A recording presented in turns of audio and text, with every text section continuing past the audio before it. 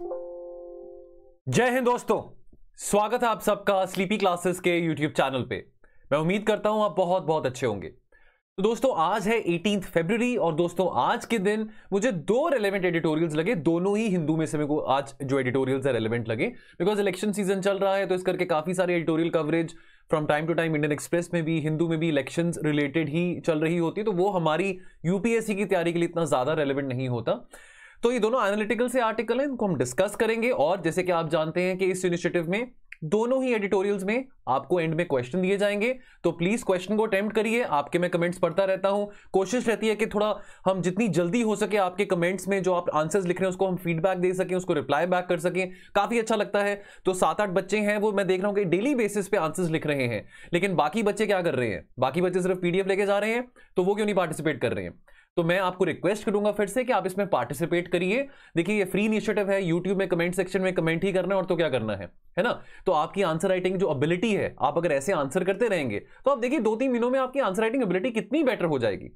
ठीक है? तो हैविंग सेट दैट आज की डिस्कशन हम शुरू करेंगे। तो दो आर्टिकल्स की मैंने बात करी। एक आर्टिकल हमारा आर रिलेटेड है जीएस टू रिलेटेड है आ, ये हिंदू में आया और दूसरा जो आर्टिकल है वो भी हिंदू में आया एनवायरमेंट या क्लाइमेट चेंज रिलेटेड है जो कि हमारा जीएस थ्री का टॉपिक बन जाता है। चलिए सो पहला article etching a trade line to bond beyond oil तो दोस्तों, जैसे अभी हम बात करें तो ये आर्टिकल इंडिया यूएई के कंटेक्स में यूनाइटेड अरब एमिरेट्स और इंडिया के जो एफटीए का अग्रीमेंट जो भी चल रहा है, उसके कंटेक्स में है। तो जैसे अभी हम बात कर रहे हैं तो आज ही शाम को comprehensive economic partnership agreement sign होने वाला है बिटवीन इंडिया एंड यूएई अब हम एफटीए की बात करें। एफटीए यानी कि फ्री ट्रेड अग्रीमेंट अब देखिए अब आ, हम देखिए अब काफ़ी आज के टाइम पे ना ये मिसकनसेप्शन है कि आत्मनिर्भर भारत की बात करें हम मेक इन इंडिया की बात करें कि वो बहुत प्रोटेक्शनिस्ट पॉलिसीज़ होती हैं, कि इनवर्ड लुकिंग पॉलिसीज़ हैं। इंडिया ने बात को बहुत कैटेगोरिकली क्लियर किया है कि भाई हम अगर अपनी मैन्युफैक्चरिंग को बढ़ाना चाहते हैं, अगर हम आत्मनिर्भर भारत की बात कर रहे हैं, अगर हम सेल्फ रिलायंस इंडिया की बात कर रहे हैं डजेंट मीन कि हम प्रोटेक्शनिस्ट हो रहे हैं। अब हमने पिछले तीन चार सालों में देखा, जो प्रोटेक्शनिस्ट ट्रेंड चल रहा था, चाहे वो अमेरिका की बात करें, है ना? जैसे डोनाल्ड ट्रंप अमेरिका फ़र्स्ट का स्लोगन काफ़ी कैरी ऑन कर रहे थे। तो अब ऐसा देखने को लग रहा था कि अमेरिका जो कि लीडर रह चुका है ग्लोबलाइजेशन का, वो ही अपनी इकोनॉमीज को इन्वर्ट ओरिएंट करने की बात कर रहा था। अब हम बहुत क्लियर है इस बात को लेके कि देखिए, हम अपनी इकोनॉमी को ग्लोबलाइज डेफिनेटली करना चाहते हैं। वी डेफिनेटली वांट के जो हमारी इकोनॉमी है that is very well integrated with the other economies of the world और हम ये चाहते हैं पैंडमिक के चलते हमको ये मौका मिला है कि कैसे जो सप्लाई चेन फैसिलिटीज़ हैं, जो कि आइडियली चाइना में ही बेस्ड है, कैसे हम आत्मनिर्भर भारत के चलते, कैसे हम मेक इन इंडिया के चलते यहाँ पे सप्लाई चेन फैसिलिटीज़ को और बूस्ट दे सकते हैं। हमको ज़रूरत क्या है? ज़रूरत है हमको ऐसे देशों के साथ और ट्रेड बढ़ाने की, जिसके चलते हमारी इकोनॉमी को और हमारे ट्रेड को और ग्रोथ मिल सके। ट्रेड को ग्रोथ मिलेगा तो हमारी इकोनॉमी को भी ग्रोथ मिलेगा जॉब क्रिएशन भी होगा। तो यहाँ पे फ्री ट्रेड अग्रीमेंट्स की बात आ जाती है। नाउ इंडिया की जो अप्रोच है फ्री ट्रेड अग्रीमेंट को लेके it's it's approach is oriented towards a meaningful market access कि भैया, आप भी हमारी मार्केट एक्सेस करिए। इंडिया इस बात को समझता है कि गिव एंड टेक वाली बात है। हम ये नहीं कह सकते सारा टाइम कि जी हमारा एग्रीकल्चर सेक्टर वीक है, हमारा मैन्युफैक्चरिंग मैन्युफैक्चरिंग सेक्टर वीक है तो हमारी वनरेबिलिटी ज़्यादा है as compare to some other country for example European Union या फॉर एग्ज़ाम्पल ऑस्ट्रेलिया या फॉर एग्ज़ाम्पल यूएई तो अभी ऑस्ट्रेलिया के साथ भी हमने early harvest trade deal sign करी है that which is a precursor to the FTA तो हम भी आपकी मार्केट एक्सेस करेंगे, आप भी हमारी मार्केट एक्सेस करिए, कोई बात नहीं एफटी का पर्पज क्या है फ्री ट्रेड अग्रीमेंट का? कि भाई जो आपके बीच में बैरियर्स हैं, जो ड्यूटीज़ हैं, वो इलिमिनेट हो जाती हैं.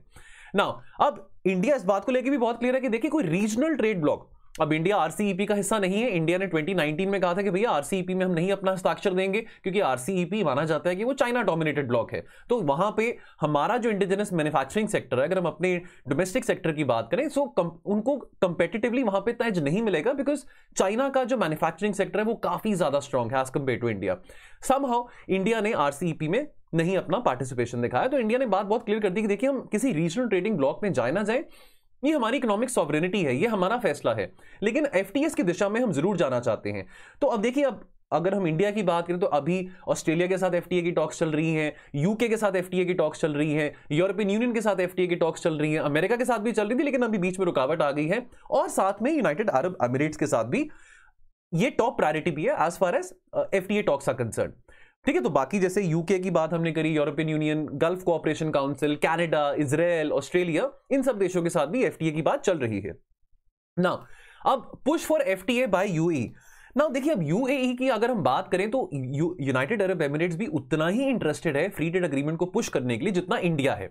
ठीक है, अब, अभी 2022 में ये बताते भी काफ़ी खुशी हो रही है कि अभी हम फिफ्टी एनिवर्सरी सेलिब्रेट कर रहे हैं हमारे डिप्लोमेटिक रिलेशंस की बिटवीन यूएई एंड इंडिया ठीक है? तो यूनाइटेड अरब एमिरेट्स ने अनाउंस की थी अपनी इच्छा for a comprehensive economic trade partnership back in सितंबर 2021 तो यूएई के एजेंडा में इंडिया भी टॉप लिस्ट में है. तो यूएई भी, जैसे इंडिया छह देशों के साथ एफटीए की बात कर रहे हैं तो यूएई भी आठ देशों के साथ एफटीए की बात कर रहा है, जिसमें से एक इंडिया है. ठीक है? Now CEPA makes UAE the preferred partner in the Gulf Cooperation Council now the UAE जैसे कि आप जानते हैं कि स्ट्रेटेजिकली जो अरब एमिरेट्स है, बहुत एक स्ट्रेटेजिक लोकेशन पे लाया करता है। एक तरफ़ पर्शियन गल्फ है, एक तरफ़ अरेबियन सी है, ठीक है? बहुत effective sea lines of communication वहाँ से पास करते हैं। So it is a very economic it is a very important economic hub in the Middle East in the West Asia, UAE के रिलेशन हम देखें, अभी पिछले 2020 की अगर हम बात करें, इसराइल के साथ भी रिश्ते काफ़ी अच्छे हो चुके हैं, ठीक है? तो यूए को इग्नोर नहीं किया जा सकता। In recent years UAE through its vision 2021 has started to diversify its economy और ऐसा माना जा रहा है डब्ल्यू की रिपोर्ट की अगर हम माने कि यूए की जो डिपेंडेंसी है, देखिए अब यूए के पास तेल बहुत है, हम सऊदी की बात करें, ईरान की बात करें अरब एमिरेट्स की बात करें तो यहाँ पे इनके पास बहुत रिच ऑयल रिज़र्व है, लेकिन इनकी जो इकोनॉमी अपनी डिपेंडेंसी ऑयल पे अब थोड़ी कम कर रही है और जो नॉन हाइड्रोकार्बन सेक्टर्स है, उस पर ज़्यादा बढ़ा रही है। तो ये डब्ल्यू की रिपोर्ट के हिसाब से किस 2012 से, यानी कि पिछले 10 साल से जो ग्रोथ हुई है यूएई में that is largely because of the non hydrocarbon sectors but having said that non hydrocarbon sector से ग्रोथ हुई है बट फिर भी हाइड्रोकार्बन सेक्टर बहुत ही इंपॉर्टेंट और स्ट्रेटेजिक पार्ट अभी भी है यूए की इकोनॉमी का। नाउ अगर इंडिया और यूए की बात करें तो इन दोनों ने डिप्लोमेटिक रिलेशंस 1972 में स्टैब्लिश करे थे तो अभी 50 साल पूरे हो गए हैं। ठीक है? ना अब द ग्रेटर पुश अब देखिए 2015 में मोदी जी गए थे यूएई गए थे। ना that was a first visit in the last 34 years यानी कि उससे पहले 1981 में इंदिरा गांधी जी यूएई गई थी। उसके बाद कोई भी भारतीय प्राइम मिनिस्टर नहीं गया था तो मोदी जी 2015 में गए थे। 2017 में क्या होता है 2017 में जो crown prince of Abu Dhabi of UAE वो यहाँ पे आए थे as the chief guest on the Republic Day 2017 का जो रिपब्लिक डे था। और वहाँ पर उन्होंने अपनी इच्छा जताई थी कि क्यों ना हम अपनी रिलेशनशिप को, अपनी दोस्ती को और ज़्यादा स्ट्रेंथन करें और डीपर करें। तो उस वक्त ये अग्री करा गया था 2017 में कि जो हमारे बायोलिटरल रिलेशन है, उसको अपग्रेड करना चाहिए टू कॉम्प्रिहेंसिव स्ट्रेटेजिक पार्टनरशिप तो इंडिया और यूई का जो ये जो डायलॉग है जो आज साइन होने वाला है, जो आज डील साइन होने वाली है कॉम्प्रेहेंसिव इकोनॉमिक पार्टनरशिप एग्रीमेंट की सीपा इसको कहते हैं, ये शुरू हुई थी सितंबर 2021 से। और अब देखिए यूएई और इंडिया दोनों ने ये कहा कि द बाय द टाइम 2022 जब एंड होता है, शायद उससे पहले ही हो जाए, कि हम फ्री ट्रेड अग्रीमेंट भी साइन करेंगे बिटवीन बोथ द नेशन अब डिफरेंस है एफटीए के बीच में और कॉम्प्रिहेंसिव इकोनॉमिक पार्टनरशिप एग्रीमेंट के बीच में, वो डिफरेंस अभी हम डिस्कस करेंगे towards the end of this editorial अब ट्रेड एंड इन्वेस्टमेंट डेटा की बात करें तो अगर हम आज की बात करें तो बहुत अच्छा ट्रेड है इंडिया और यूए के बीच में। तो अगर हम अभी पहले नौ महीनों की बात करें और द फ़िज़िकल ईयर 2021-22 तो जो हमारा ट्रेड है यूए के साथ that is more than 50 billion dollar तो बहुत अच्छी बात है। Now this makes you UAE India third largest trading partner अब एम क्या है? एम है कि भाई एफटीए साइन होगा इंडिया और यूएई के बीच में तो जो हमारा ट्रेड है जो हमारा ट्रेड है वो 100 बिलियन डॉलर से भी ज़्यादा हो और अगर सर्विसेज़ ट्रेड की बात करें तो वो आने वाले पाँच साल में, अगर आज 50 बिलियन से ज़्यादा है तो आने वाले पाँच साल में हमारा merchant merchandise trade 100 billion dollar से ज़्यादा हो और जो ट्रेड रिलेटेड इन सर्विसेज़ है वो 15 बिलियन डॉलर से ज़्यादा हो। नाउ अब ये उस टाइम पे फ्री ट्रेड अग्रीमेंट या सीपा की डील साइन हो रही है जब इंडिया एक ऐतिहासिक मोड़ पे है। India on the verge of creating history by reaching the figure of 400 million dollars of merchandise export to different countries तो ये अपने आप में बहुत बड़ी अचीवमेंट है कि हमारे फॉरेक्स रिज़र्व में बहुत बढ़ोतरी देखने को मिली है और हमने बहुत एक्सपोर्ट्स करे हैं राइट ना अब यूए की बात करें this would be a very attractive export market खास करके हमारे इलेक्ट्रॉनिक सेक्टर की बात करें ऑटोमोबाइल्स की बात करें इंजीनियरिंग प्रोडक्ट्स की बात करें। तो हम अभी प्रोडक्शन लिंक्ड इंसेंटिव स्कीम्स के चलते भी बहुत सेक्टर्स को इंसेंटिव्स दे रहे हैं। हम मेक इन इंडिया की बात कर रहे हैं मैन्युफैक्चरिंग सेक्टर को बढ़ाने की बात कर रहे हैं डिफेंस इंडिजनाइजेशन की बात कर रहे हैं। तो UAE can serve as a very big market provided हमारे यहाँ पे पॉलिसीज़ बिल्कुल सही तरीके से इंप्लीमेंट हो सके। ठीक है? यानी कि ये जो अभी हम ख्वाब देख रहे हैं कि 25 प्रतिशत अपनी जो इकोनॉमी में कॉन्ट्रीब्यूशन मैन्युफैक्चरिंग सेक्टर का होगा, ये हम पूरा कर सके तो बहुत अच्छी बात रहेगी। तो हमारा जो इंटीग्रेशन है यूए के साथ और खुल जाएगा। और अगर यूए के साथ हमारा ट्रेड खुलता है, और ज़्यादा इंटीग्रेशन होता है तो इनडायरेक्टली हमारा जो ट्रेड होगा विद अदर गल्फ नेशन वो भी और ज़्यादा डीपन और इंटीग्रेट हो जाएगा।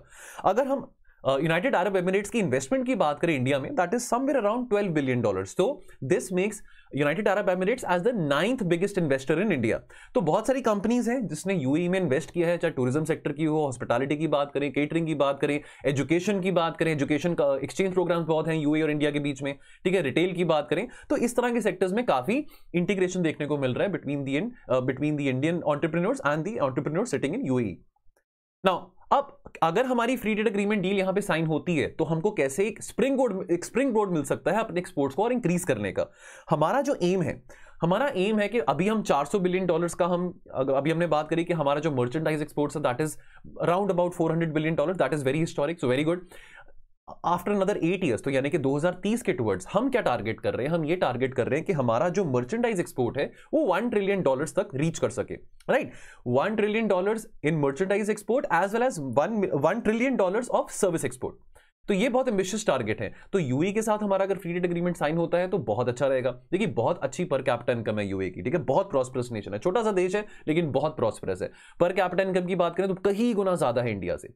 और स्ट्रेटेजिकली बहुत एक इंटरेस्टिंग एरिया में लाई करता है जोग्राफिकली नाउ अब यूएई जो है, वो पार्ट भी है it's a part of the Gulf Cooperation Council जिसके अलावा गल्फ कोऑपरेशन काउंसिल में और भी कौन से देश हैं? सऊदी अरेबिया हो गया कुवैत हो गया बहरीन हो गया ओमान हो गया। ना अब यूएई की इनके साथ एक कॉमन मार्केट है कस्टम यूनियन है। तो अगर हमारा एफटीए होता है यूए के साथ तो हमारी जो एक्सेसिबिलिटी है, हमारे गुड्स की जो एक्सेसिबिलिटी है, हमारी जो मार्केट पेनिट्रेशन है, वो और डीपर हो सकती है with this region also not only the Gulf Cooperation Council but also in the greater Middle East जिसमें आपके कुछ अफ्रीकन देश भी आ जाते हैं। जैसे हम बात करें इजिप्ट की बात करें लिबिया की बात करें टूनिशिया की बात करें, वो देश भी आ जाते हैं। Now this can help India to become a part of that supply chain specially अगर हम बात करें हैंडलूम्स की हैंडीक्राफ्ट की टेक्सटाइल्स की और फार्मा की। ठीक है, हम तो वैसे भी pharma we are known as the pharmacy of the world ठीक है, कितनी सारी वैक्सीन की प्रोडक्शन यहाँ पे हमारी करी जा रही है। तो ये हमारी स्ट्रेंथ है हैंडीक्राफ्ट हैंडलूम्स की अगर हम बात करें, देखिए, बांग्लादेश कितना आगे जा चुका है, अगर हम हैंडलूम्स और हैंडीक्राफ्ट की बात करें, ठीक है, हम वोकल फॉर लोकल की बात करते रहते तो कितने सारे हमारे जोग्राफिकल इंडिकेटर टैक्स प्रोडक्ट्स हैं, जिनकी पेनिट्रेशन बाहर कंट्रीज़ में इतनी ज़्यादा नहीं है, जिसको और बढ़ाया जा सकता है through signing this F T whether it's with Israel whether it's with Australia whether it's with UK whether it's with Australia और whether it's with European Union और whether it's with United Arab Emirates तो ये हमारा gulf Cooperation council है, ठीक है? तो ये देश हैं सारे के सारे, यहाँ पे यूई है जी, इसका कैपिटल क्या है? अबू धाबी इसका कैपिटल है यूई का, ठीक है? यहाँ पे आपका पर्शियन गल्फ आ जाता है तो बहुत strategic sea lines of communication जो है, यहाँ पे पास करते हैं। तो strategically it's it's in a location which is very well placed अब थोड़ा डिफरेंस की बात कर लेते हैं। अभी हमने सीपा की बात करी तो आज शाम को सीपा जो है कॉम्प्रेंसिव इकोनॉमिक पार्टनरशिप अग्रीमेंट ये साइन होने वाला है between both the Nations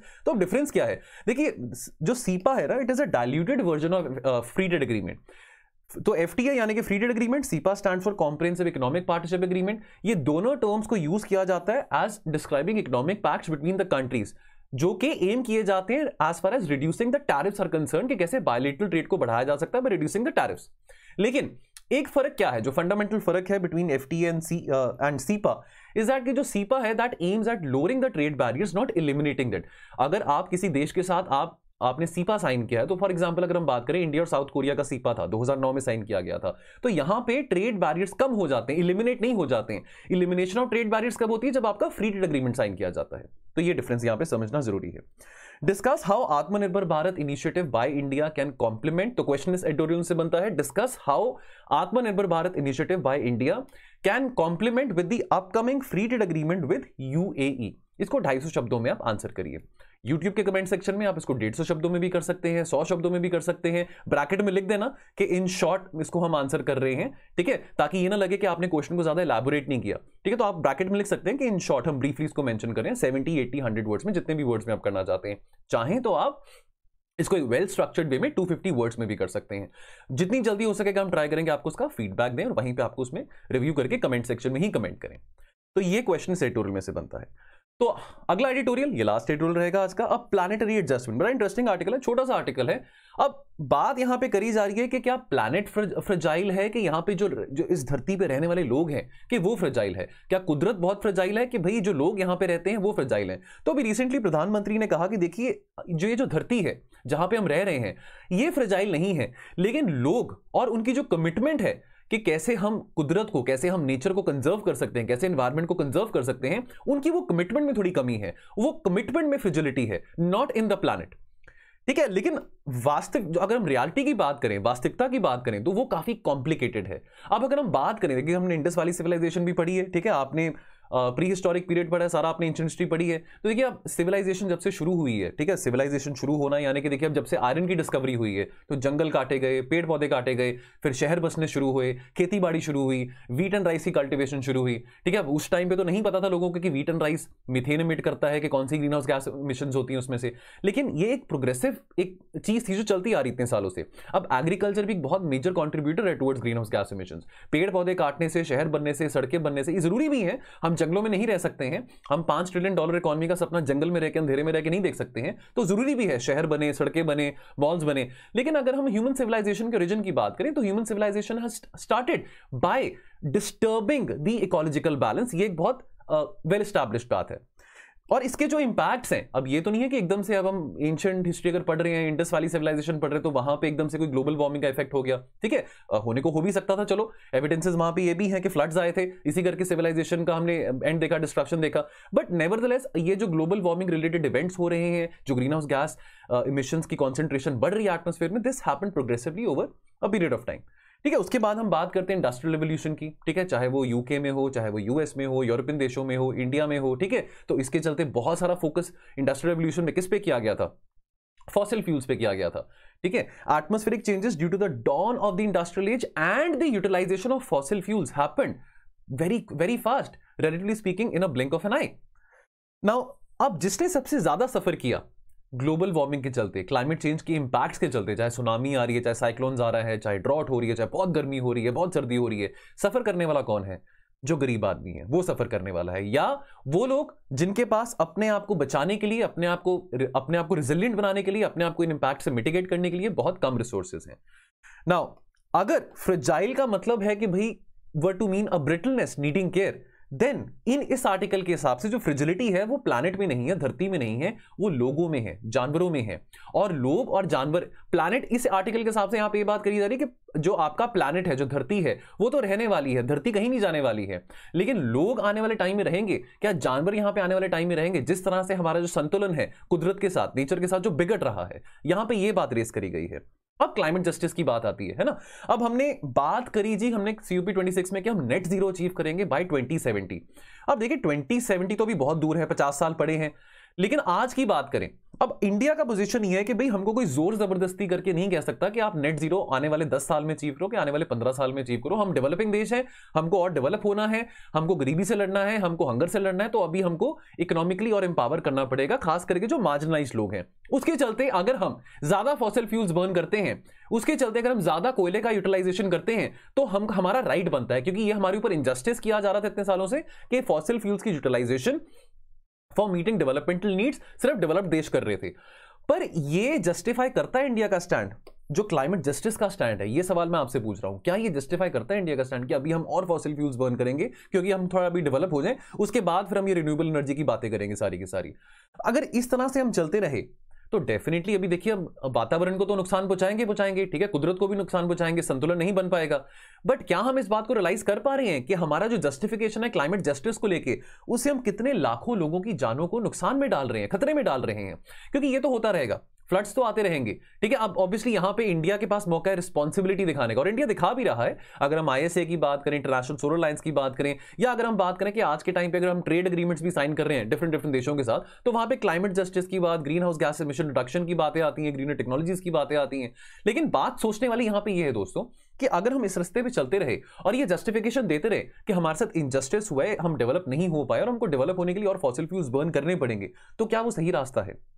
Now what is a way forward now India commitment to net zero अभी तो बहुत टाइम पड़ा है, पचास साल पड़े इसको हम मीट कैसे करेंगे? कैसे हम इसको, कैसे हम फाइनेंशियली रिसोर्सेज रेस करेंगे इस टारगेट को मीट करने के लिए? वो भी अपने आप में एक बहुत बड़ा सवाल है।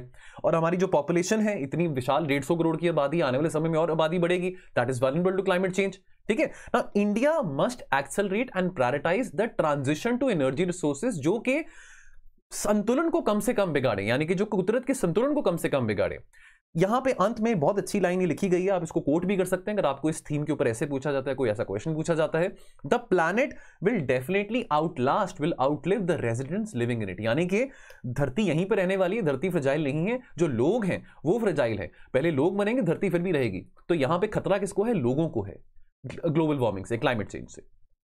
क्वेश्चन क्या बनता है? India understanding of climate justice is not in sync with its commitment towards net zero क्या आप इस बात से सहमत हैं, अगर हैं या नहीं भी हैं? जो भी आपका ओपिनियन है कमेंट करिए ढाई शब्दों में। डेढ़ शब्दों में भी कर सकते हैं, सौ शब्दों में भी कर सकते हैं। वो आपके ऊपर है। ठीक है? चलो, ये दो आर्टिकल्स थे आज के तो जाने से पहले I just a quick 30 seconds तो जैसे मैंने आपको कल भी बताया था कि 24 days UPSC mains answer writing programme है तो इसके रिगार्डिंग कवल सर ने एक वीडियो भी शेयर किया यूट्यूब में. तो दोस्तों, ये हर हर महीने ये बैच चलेगा तो अभी जो रिसेंट जो लेटेस्ट बैच है, वो ट्वेंटी फेब से शुरू होने वाला है. काफ़ी comprehensive means answer writing course है तो अगर आप चाहते हैं कि आपके आंसर्स को एक डिटेल्ड फीडबैक मिले मार्क्स मिले ठीक है, आप एक लाइव डिस्कशन में अगर एंगेज होना चाहते हैं, अगर आपको पर्सनल मेंटरशिप भी चाहिए तो ये सब फैसिलिटीज़ आपको कवल सर प्रोवाइड करेंगे। एक real time twenty four seven Telegram support group रहेगा। आप कभी मर्ज़ी चाहें, किसी भी चीज़ के ऊपर आप कवल सर से बात कर सकते हैं। कोई आपको इशू मेन्स में आ रहा है, कोई आपको इशू यूपीएससी की तैयारी में किसी भी एरिया में आ रहा है उनसे बात कर सकते हैं। He will support you will give you personal mentorship इस पूरे कोर्स की कीमत कितनी है? सिर्फ़ तीन हज़ार रुपए। तो ज़्यादा कोई महँगा कोर्स भी नहीं है ये। तो अगर आप चाहते हैं इस पर एनरोल करना तो आप इस दिए गए नंबर पर कॉल करके इसके बारे में और जानकारी ले सकते हैं। चलिए। सो आज के लिए दोस्तों इतना ही। मिलेंगे कल और एटोरियल्स के साथ। तो आप अपना ध्यान रखिए और पढ़ते रहिए। थैंक यू सो मच जय हिंद।